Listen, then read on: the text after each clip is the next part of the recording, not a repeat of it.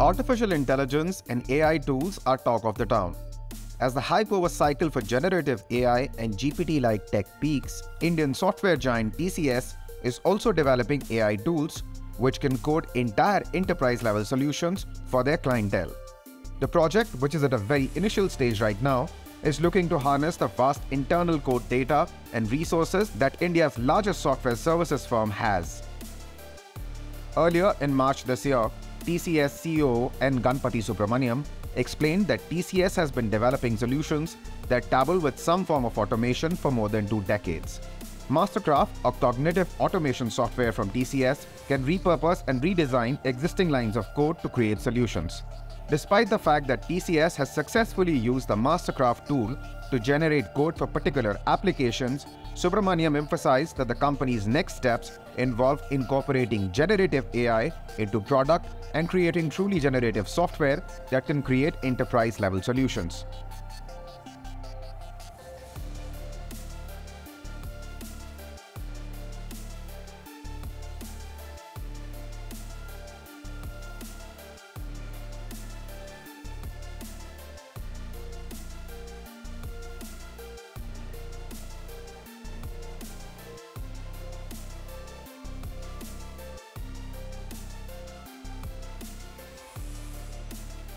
Although TCS has already incorporated some degree of AI into these solutions, Subramaniam believes that adding generative features will be the next step. Building these tools, in his opinion, might take anywhere between 6 months to 2 years. According to experts, generative AI technologies have the ability to produce complex algorithms that could resolve problems at the company level. Consequently, the creation of tools with generative features may cause problems for TCS programmers. Every year, the corporation is known to hire tens of thousands of recent college graduates who are technically proficient enough to create straightforward programs on a large scale.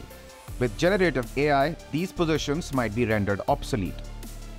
However, according to Subramaniam, the new technology may create opportunities for a new class of engineers he refers to as prompt engineers.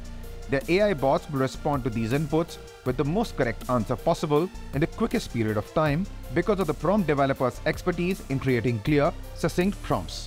A prompt engineer, according to Subramaniam, will have a technical background along with contextual knowledge of the business, client, and a degree of design thinking.